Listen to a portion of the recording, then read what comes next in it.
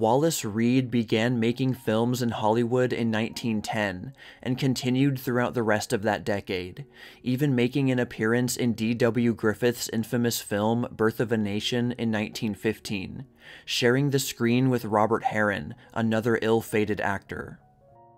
Reid became a leading figure in the movie star worship of the early 1920s. He was handsome, romantic, and masculine, a big hit among women. He is sometimes considered to be the most popular male screen idol before Rudolph Valentino hit the scene. But with this kind of popularity, there would be a cost, and Reid would eventually pay with his life. In 1919, Reid was making a film with Paramount Studios called The Valley of the Giants. While on the way to the filming location, he was seriously injured in a train accident he was given morphine to ease the pain, and the filming proceeded. At the time, this was a common treatment, especially in Hollywood. The problem was, with morphine, like some other drugs, a person eventually acclimated to it, which meant that it required a higher dosage to feel as effective as before. It didn't take long before Wallace Reid was completely addicted to morphine and was reliant on it to be anywhere near useful for making movies, and his health was quickly becoming a problem. It started to affect his personality too. The normally easygoing Reid became irritable and sometimes behaved erratically. To help ease his frustration, he also started drinking more. The studio eventually cut him off from morphine, but he easily got more on the black market. Not only was he addicted, but this was Hollywood. A long break from movies could mean the end of his career, and the pressure of the environment of the movie industry must have been immense. And if he did receive a lengthy recovery time, people would probably prod into the matter and possibly uncover the truth, something that had the potential to further damage Hollywood's reputation after the Fatty Arbuckle scandal in 1921. Despite his worsening condition, he was pushed to keep up his busy schedule. He lost a lot of weight and had outbursts of anger. By December 1922, he had lost 60 pounds since his injuries and was too weak to do any more filming. His wife, actress Dorothy Davenport, finally persuaded him to go to a Hollywood sanitarium that month, but it was too late. He slipped in and out of comas, his immune system too weak to fight off infections. On January 18, 1923, he died from complications of pneumonia at the young age of 31. Dorothy wrote to her mother in law The boy simply slept away died at 1 o'clock today. Our hearts are together. Reid's last feature film, titled 30 Days, is lost, but it was not a success. His bad physical condition was apparently obvious to many theatergoers.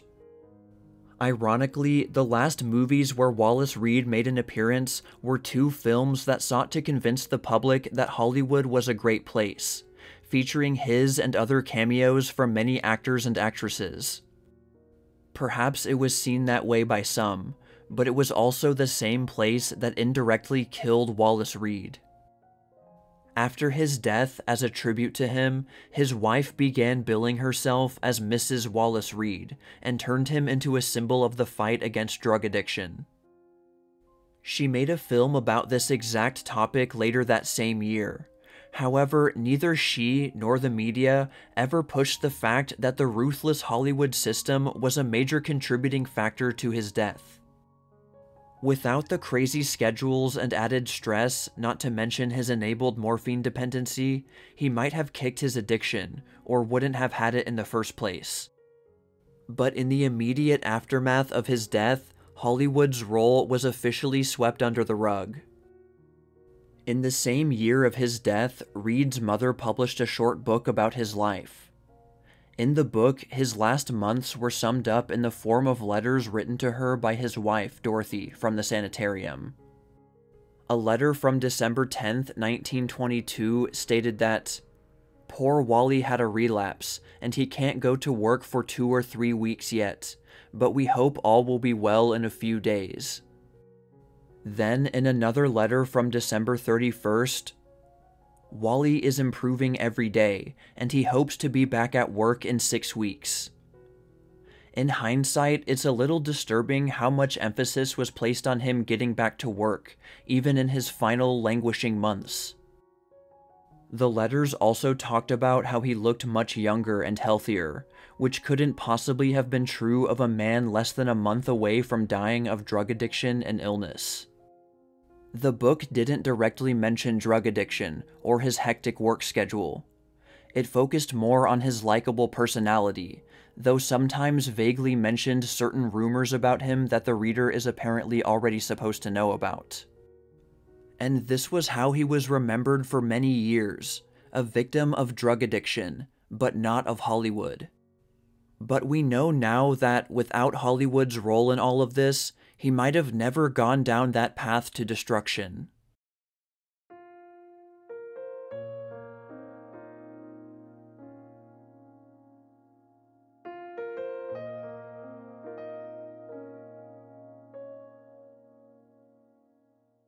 This next death involved another famous Hollywood person, and is one of the most famous and mysterious Hollywood deaths of all time.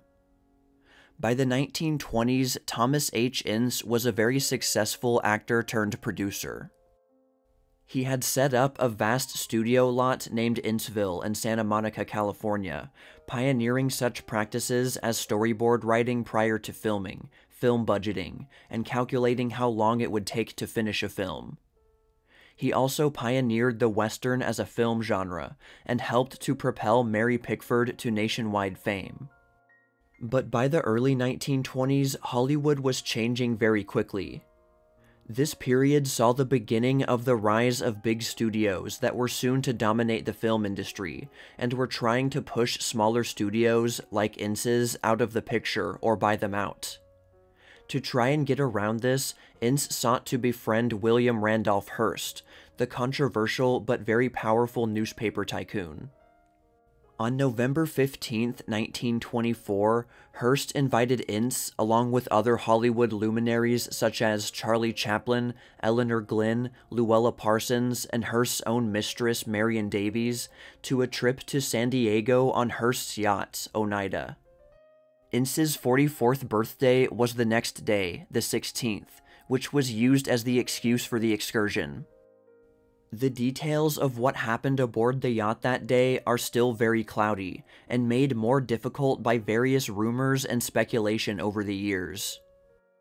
What we do know is that Ince became very sick on the second night of the trip, so the yacht stopped at San Diego, where Ince was taken ashore to a hotel, and eventually back to his home in Beverly Hills, where he died shortly after, on November 19th. The details published about the incident varied widely. The location of his death, the cause of death, and exactly who witnessed what were all at odds with each other in different accounts. For example, Charlie Chaplin's secretary allegedly saw a bullet wound on Ince's head as he was being taken off the boat. This supported a common rumor that Hearst was trying to shoot at Charlie Chaplin, but hit Ince by accident. This was because Hearst's mistress, Marion Davies, was allegedly Chaplin's mistress as well. Some even thought that the yacht trip was a trap, and that Hearst wanted to catch Davies and Chaplin fooling around together. Then there was the fact that Ince died on November 19th, and his body was quickly cremated on the 21st.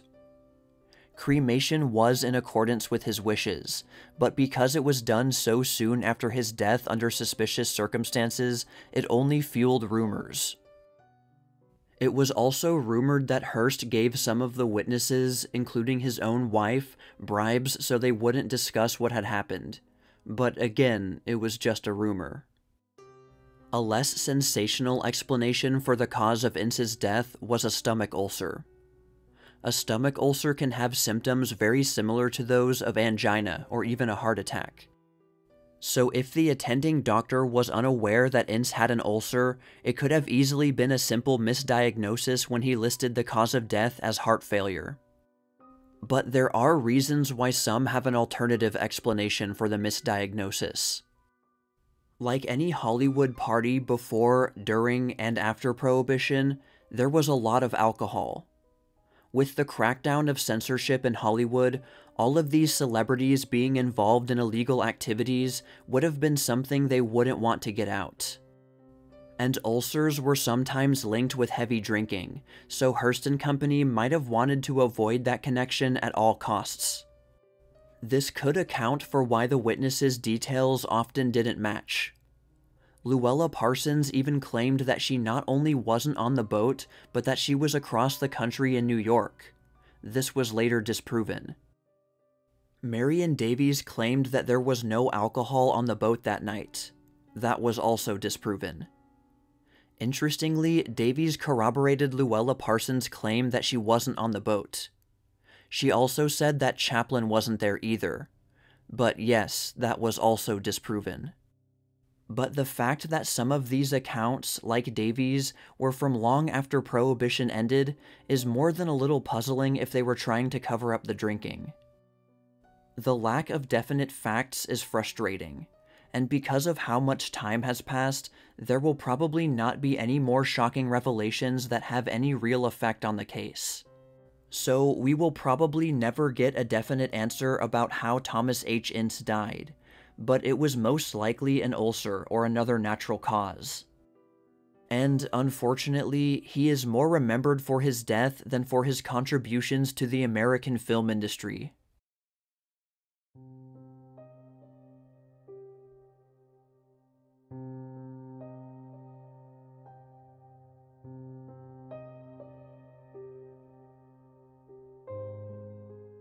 Max Linder is a relatively forgotten celebrity today, but he was one of the biggest stars of early film. He was born in Saint-Loubès in southwestern France on December 16, 1883.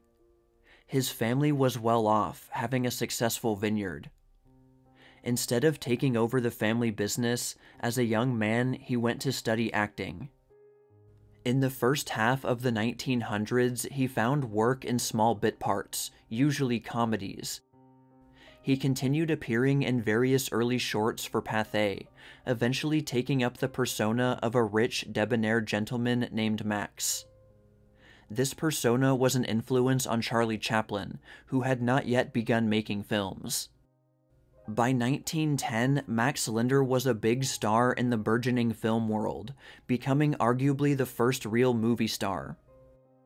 At that time, France was still the capital of film, and that meant that Linder's films were being sent off to other countries, making him an international success.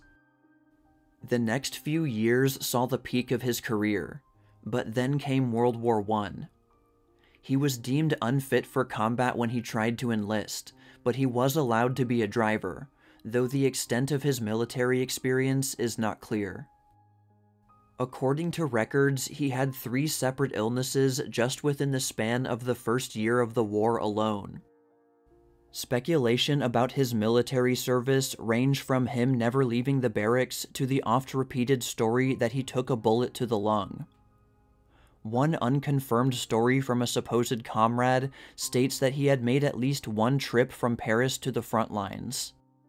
However, regardless of what happened during his service, he was soon abruptly dismissed from duty, though the reasons for that were never explicitly stated. It's likely that it was due to health problems. From then on, he served as an entertainer for French soldiers.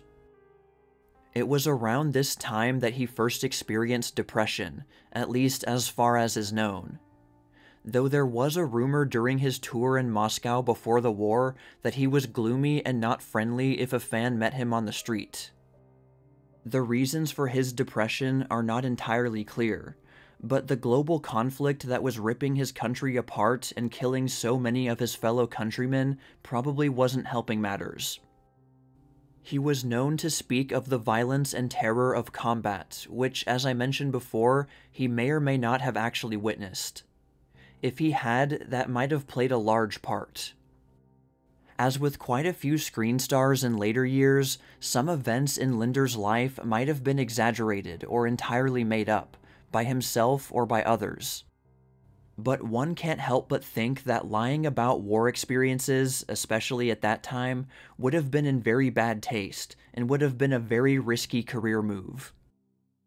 Linder moved to the United States to try his hand at making movies there, and stayed until the summer of 1918. His films with Essanay Studios weren't too successful, though he had befriended Charlie Chaplin while he was there. Linder went back to Paris, made one more film there, and eventually moved back to the US a few years later in 1921. But ultimately, he moved back to France in the summer of 1922. In an interview in the months before leaving, he was quoted as saying something that went under the radar at the time. He said, I exercise how to be cheerful and happy every morning. I sing loudly, I whistle, I dance, and I'm sad, sad infinitely. The films he made in America were quite good and were moderate successes at the box office, but not nearly enough to regain his popularity from the pre war years. After he returned to Europe, he made two more films, the last being filmed in Austria. By this time, it was becoming obvious that something was wrong with Linder. His depression had taken a turn for the worse, making it difficult for him to perform. On August 2, 1923, he married Elaine Peters, usually called Nanette, who was 20 years younger than him, being only 17 when their relationship was first discovered earlier that same year. Nanette's mother actually accused Linder of kidnapping her underage daughter when they went off to Nice together. Nanette was also the heiress to her father's restaurant fortune, so together she and Linder were quite wealthy. You might think that a beautiful, young new wife and more money would help him feel better, but it was said that Linder didn't look very happy at the wedding, and a rumor circulated that he had been forced into it for some reason. A mere six months later, on February 24, 1924, Linder and Nanette were found unconscious in their hotel room in Vienna, Austria, both under the influence of Veronal, a barbiturate commonly used as a sleep aid at the time. This was publicly declared an accidental overdose. Linder claimed he had been taking Veronal habitually at night so he could fall asleep, and had developed a tolerance to it. Less than a week later, Linder went back to filming his latest and last film, which was the reason why they were in Austria in the first place. To make this whole situation worse, Nanette had been pregnant at the time of the near death experience, because in June 1924 their daughter Maud was born but she was a healthy baby. Just to clarify, Linder's bad mood at the wedding couldn't have been related to the pregnancy, because there were 10 months between the wedding and the birth of Maud. While the birth of their daughter should have been good news for the couple, it probably only added more stress to their relationship. And it was becoming more and more obvious, especially to Nanette, that Linder was not just depressed, but very mentally disturbed. This had been foreshadowed earlier when Linder had agreed to an interview with a man from a British film magazine. Everything was going fine until Linder was asked about his impending marriage. Instead of answering, he stood up, took out a revolver from a drawer, and slowly started loading it up with a few bullets. The interviewer was so disturbed by these strange actions that he quickly left. Shortly before Maud was born, Linder was working with the famed director Abel Gance, who a few years later would make his greatest masterpiece, Napoleon. Together, they made a short titled Au Secours, which would be released in June 1924. The box office performance was underwhelming, and the critics were critical. According to a New York Times article, Linder began making dark comments to friends, saying things like he had nothing left to live for. After he bought a revolver, his friends took it away from him, fearing what he might do with it, to which he replied that he knew a better way than that. In late October 1925, Linder and Nanette reportedly went to see the film Quo Vadis, in which two characters, Petronius and Eunice, commit suicide by bleeding themselves to death. Things started to get even worse with Linder, and Nanette wrote to her mother only days later, He will kill me. Linder abruptly resigned as president of the French Society of Film Authors after only holding the position for three months. Then, when visiting a friend, he told him it would be their last meeting. Even with all of these obvious hints and implications, it seems that nobody was willing to do anything drastic to intervene. On the morning of November 1st, Mrs. Peters, Nanette's mother, having been told that Linder and her daughter were planning a trip to the countryside and wanting to wish them safe travels, called Linder's hotel room, but there was no answer. A porter informed her that Linder had forbidden all calls. Mrs. Peters went up to the room herself, and hotel staff forced the door open, and they discovered Linder and Nanette unconscious, bleeding profusely on their bed, though still alive. They were quickly rushed to a hospital, but Nanette died seven hours later, and Linder also died afterwards. The deaths were reported as part of a suicide pact, and that was the official cause decided upon, but the details remain unconfirmed. Nanette's family did not believe that the young woman had wanted to die as Linder had. Though if that was true, one might wonder why she hadn't screamed for help. The most likely theory for this is that Nanette, resigned to her husband's determination for them to die together, eventually agreed to drink a sleeping potion that knocked her out so that she wouldn't feel any pain. Both had been injected with morphine and had drunk Veronal, the same drug they had used previously. But the extent to which Linder coerced Nanette into his fantasy of death, if he did, is unknown. Though, according to the testimony of Nanette's doctor, Linder was extremely emotionally abusive towards her, and she was convinced that he would kill her. This suggests that under normal circumstances, she never would have willingly gone along with such an act. She probably felt like she had no way out, so she just accepted it. The whole story of Max Linder's decline is confusing and complicated, filled with rumors and sketchy details. Perhaps his mental decline was due to something horrific he experienced during the war.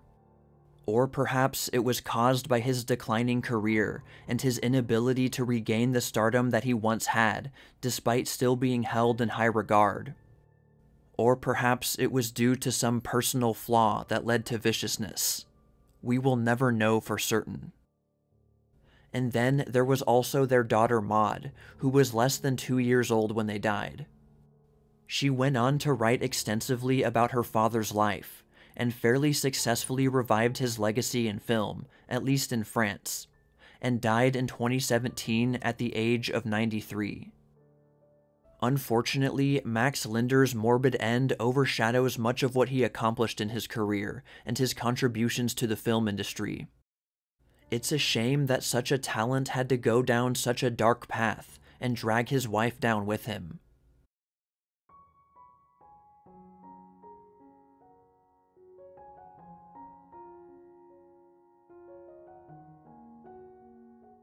I hadn't originally planned to redo parts 4 and 5, but I recently decided to go for it. This remake was a full re edit from scratch, complete with new updated recordings and an edited script. Part 5 will be the same, and it will be uploaded later this month. But that's all for now, all you sheiks and gals out there, but stay tuned for more tales from the Jazz Age.